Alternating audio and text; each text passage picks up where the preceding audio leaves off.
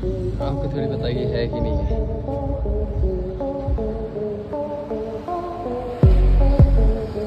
आप, आप खुद नहीं है?